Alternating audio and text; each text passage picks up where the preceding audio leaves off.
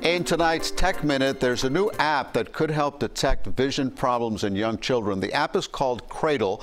It scans photos on your smartphone and can instantly identify unusual glares that could be a sign of 27 different eye conditions.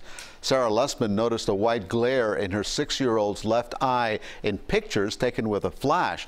But thanks to Cradle, her son got the help he needed to save his vision and his life.